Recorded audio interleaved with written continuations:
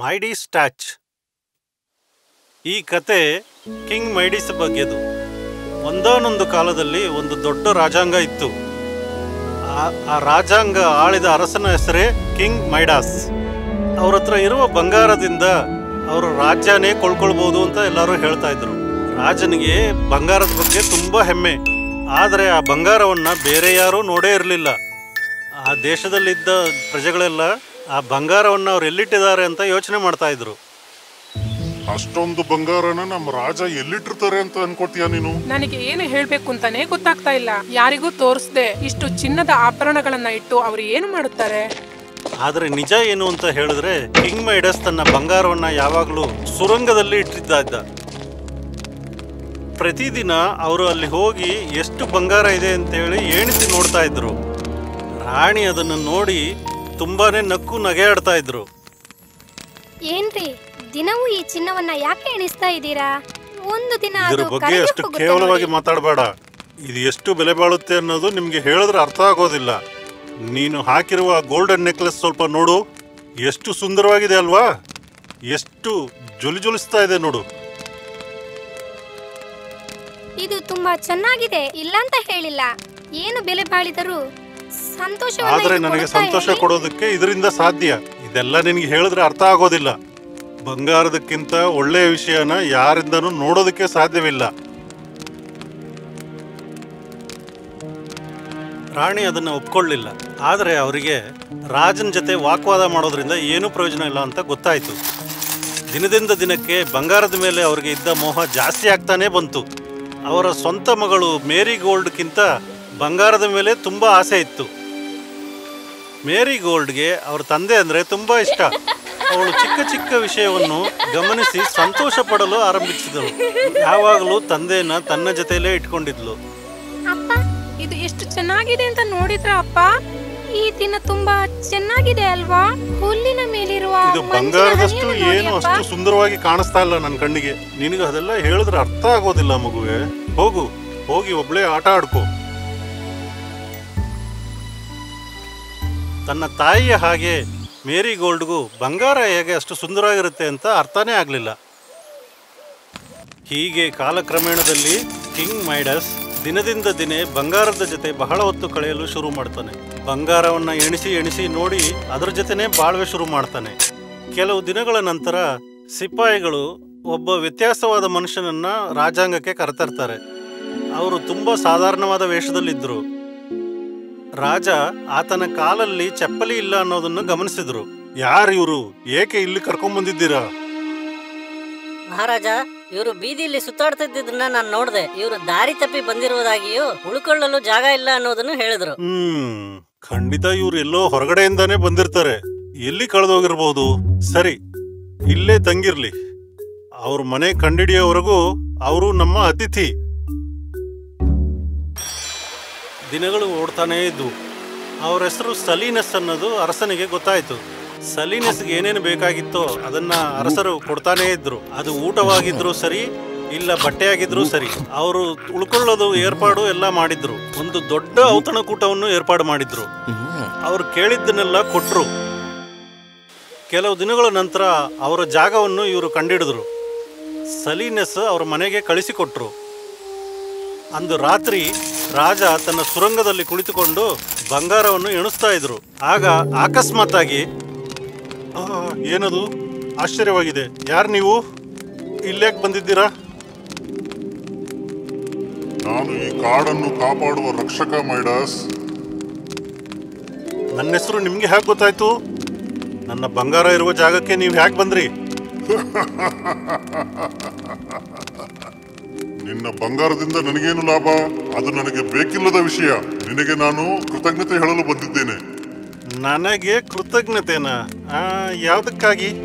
ಸಲೀನಸ್ ನನ್ನ ಪ್ರಾಣ ಮಿತ್ರ ಅವನನ್ನು ನೀನು ಚೆನ್ನಾಗಿ ನೋಡಿಕೊಂಡೆ ಎಂದು ಅವನು ನನ್ನ ಹತ್ರ ಹೇಳಿದನು.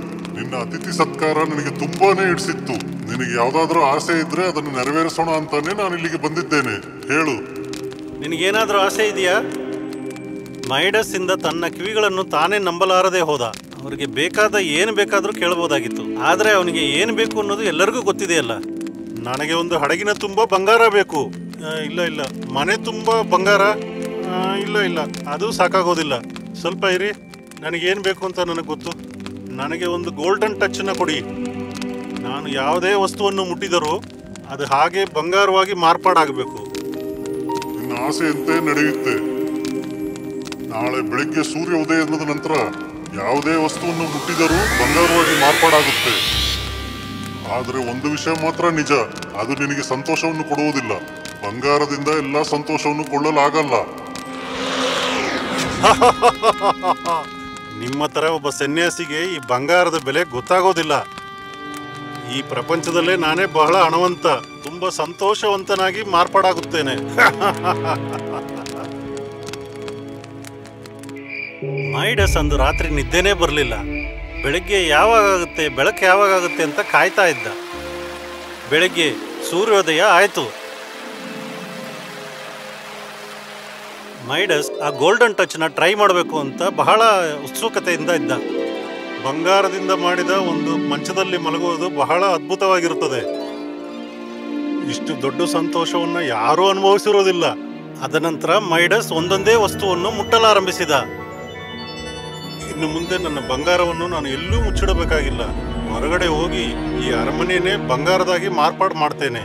ಮೈಡಸ್ ಹೋಗ ದಾರಿಯಲ್ಲಿ ಇದ್ದ ವಸ್ತುಗಳನ್ನೆಲ್ಲ ಮುಟ್ಕೊಂಡೇ ಹೋದ್ರು. ತೋಟಕ್ಕೆ ಹೋಗಿ ಮರ ಮತ್ತು ಗಿಡಗಳನ್ನು ಸಹಿತ ಬಂಗಾರವಾಗಿ ಮಾರ್ಪಾಡು ಮಾಡಿದ್ರು. ಓ, ಈಗ ಬಹಳ ಸುಸ್ತಾಗಿದೆ.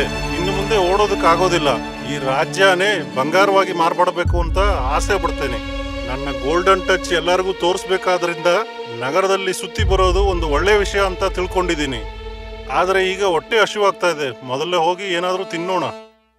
ಅಲ್ಲಿ ಹಣ್ಣುಗಳಿದ್ದವು, ಮೀನಿತ್ತು, ಮೀಟಿತ್ತು, ಎಲ್ಲಾ ವಿಧವಾದ ರುಚಿಕರವಾದ ತಿನಿಸುಗಳು ಅಲ್ಲಿದ್ದವು. ಅದು ರಾಜನ್ಗೋಸ್ಕರ ಕಾಯ್ತಾ ಇದ್ವು. ಓ, ಅದ್ಭುತವಾದ ಭಕ್ಷಣಗಳು. ನೋಡೋದಕ್ಕೆ ತುಂಬಾ ಅದ್ಭುತವಾಗಿದ್ದಾವೆ. ಏನು? ಇಲ್ಲ. ನೀರೆಲ್ಲೋಯ್ತು? ತುಂಬಾ ದಾಹವಾಗಿದೆ. ಇಲ್ಲೇನ್ ನಡೀತಾ ಇದೆ? ಮೈಡಸ್ ಅದನ್ನ ನೋಡಿ ತುಂಬಾ ಶಾಕ್ ಆಗಿ ಭಯ ಬಿದ್ರು. ನಿಧಾನವಾಗಿ ಒಂದೊಂದನ್ನೇ ಮುಟ್ಟಲು ಎಲ್ಲದೂ ಬಂಗಾರವಾಗಿ ಮಾರ್ಪಾಡಾಗಿತ್ತು. ಅದನ್ನ ನೋಡಿ ಅವ್ರಿಗೆ ಆಶ್ಚರ್ಯವಾಯಿತು. ಎಲ್ಲಾ ಭಕ್ಷಣಗಳು ಬಂಗಾರವಾಗಿದ್ವು. ಈಗ ನಾನು ಏನನ್ನ ತಿನ್ನೋದು? ತುಂಬಾ ಬಾಯಾರಿಕೆ ಆಗ್ತಾ ಇದೆ. ನೀರು ಕೂಡ ಕುಡಿಯೋಕ್ಕಾಗೋದಿಲ್ವೇ? ನನ್ನಿಂದ ಬಂಗಾರವನ್ನು ತಿನ್ನಲು ಕುಡಿಯಲು ಆಗುವುದಿಲ್ಲ. ಪ್ರಪಂಚದಲ್ಲೇ ಶ್ರೀಮಂತ ರಾಜ ಹೊಟ್ಟೆ ಹಸುವಿಂದ ಸಾಯೋದ. ರಾಜನಿಗೆ ತುಂಬಾ ಸುಸ್ತಾಯ್ತು. ತನಗೆ ಉಪಯೋಗಕ್ಕೆ ಬರದ ಭಕ್ಷಣದ ಮುಂದೆ ಏನು ಮಾಡಲಾಗದೆ ಕೂತಿದ್ದರು. ಆಗ ಅವರ ಮಗಳು ತೋಟದಿಂದ ಅವರನ್ನು ನೋಡಲು ಓಡೋಡಿ ಬಂದ್ಲು. ಮೈಡಸ್ ಯೋಚಿಸುವ ಮುಂಚೆನೆ ಮ್ಯಾರಿಗೋಲ್ಡ್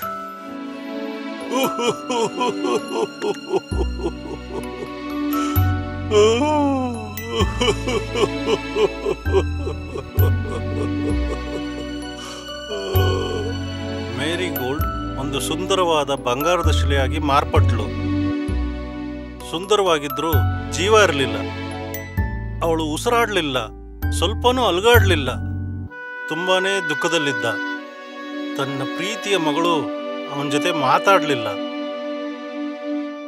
ಎಲ್ಲ ಹೋಯ್ತು, ನಾನು ಈ ರೀತಿ ಮಾಡಿರ್ಬಾರ್ದಾಗಿತ್ತು. ಮೇರಿ ಗೋಲ್ಡ್ ಈ ತರ ಒಂದು ವಿಷಯ ನೋಡೋದಕ್ಕೆ ನಾನು ಬಿಟ್ಟಿರಲೇಬಾರ್ದಾಗಿತ್ತು. ಮೇರಿ ಗೋಲ್ಡ್ ನನ್ನ ಸುಂದರವಾದ ಮಗಳು. ಏನಾದರೂ ಹೇಳು.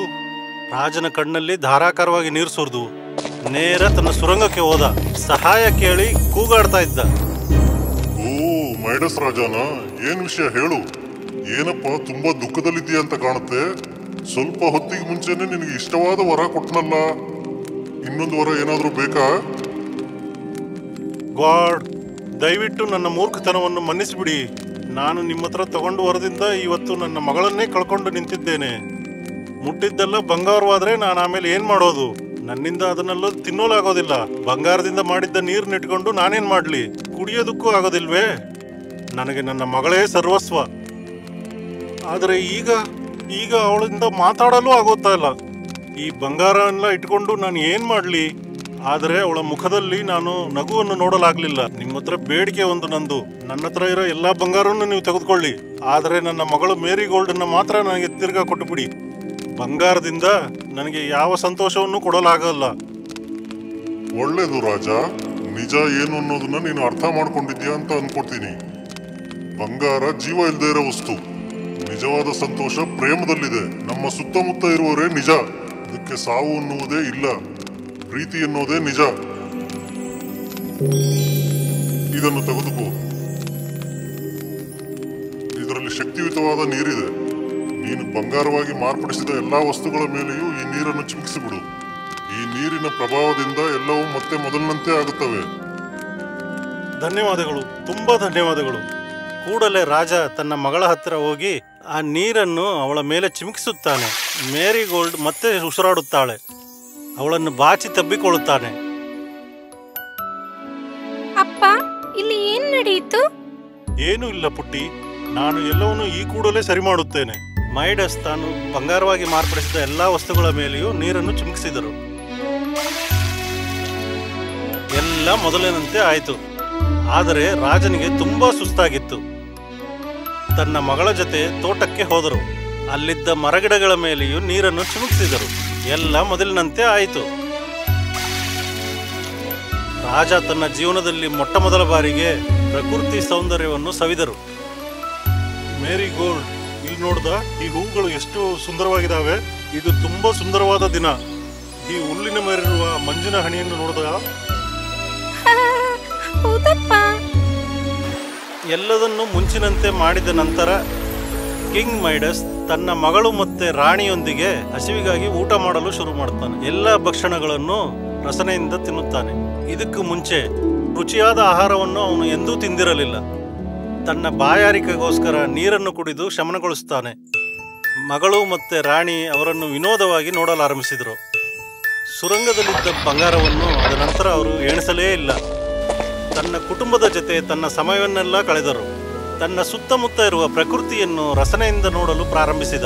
ಈಗ ಪ್ರಪಂಚದಲ್ಲೇ ಅವನೇ ಬಹಳ ಶ್ರೀಮಂತವಾದ ಮತ್ತು ಸಂತೋಷವಾದ ರಾಜನಾಗಿದ್ದ.